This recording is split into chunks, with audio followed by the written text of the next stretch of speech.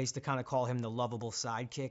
Um, while he was perfectly happy to kind of live off of Vince and everything that came with having the best friend being a movie star, uh, what I always tried to do, and I think what the character became, was just a very relatable blue collar guy who was very loyal to his friends. I always say that with what the show was, is that it didn't matter which one of the four of these guys made it.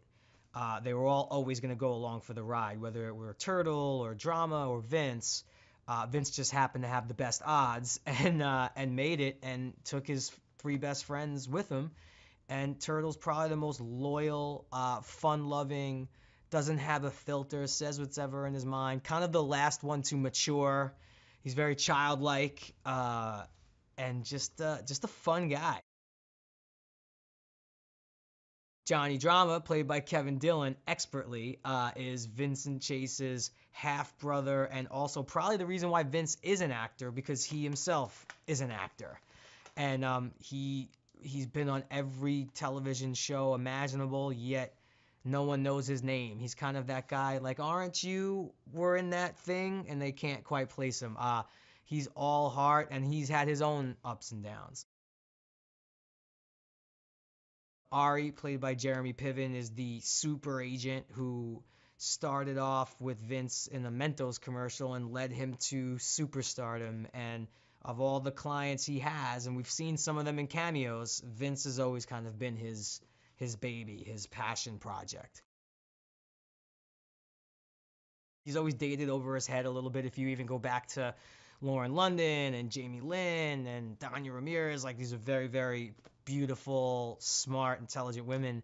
Um, so you think he, Turtle, I guess, is just really funny or really good in bed. That's the only way you could get these girls. But um, in this movie, you know, Doug always had the same kind of theory in mind. Like we're gonna kind of set that element up again, where Turtle's going after a girl that's kind of probably unattainable, and which is crazy now because Turtle might actually be, in by LA standards, more attractive now that he's successful. And um, he he finds Ronda Rousey, who he claims they had a moment at Coachella where they connected.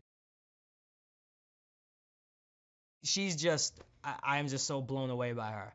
She is one of the most talented and impressive people, and you know what? Deservingly so, which makes it even all the more sweeter, is when good things happen to good people.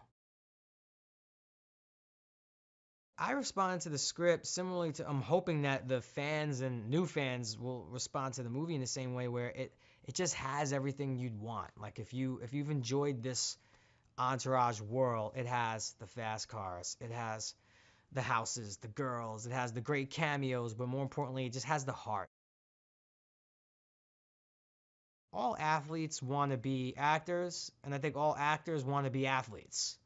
You know, like I think they're psyched to like meet the entourage guys and kind of maybe be a cameo in the movie because maybe deep down they want to act and be on the big screen. I think we're just super psyched because I, I just want to catch passes from Russell Wilson and arm wrestle Clay Matthews. And I just think that's the that's kind of the cycle that's been created. I don't know. But I also think similarly to what the Vince character has done, I think athletes kind of have to go through it. They are thrust into a crazy world at a very young age where they're making a lot of money and they have a lot of people and a lot of eyeballs on them.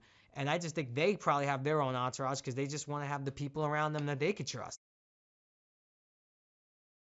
That's what's like made this show so special is it, there definitely was a world that was built that somewhere in this world Bob Saget is our neighbor and Johnny Drama, you know, broke into the business back in the day with Andrew Dice Clay and Gary Busey, you know, lives by Turtle at the beach somewhere and and in this world, you know, Mark Cuban who's playing himself and was a fan of the show and obviously you know, everybody kind of knows Mark Cuban's deal, you know, and now he's on the show Shark Tank. Like, he bought out this company, and it's kind of cool now in the movie version to to see that he's Turtle's like a little protege. Like Cuban's kind of that's that he, Cuban's his guy and it's it's really really cool to see.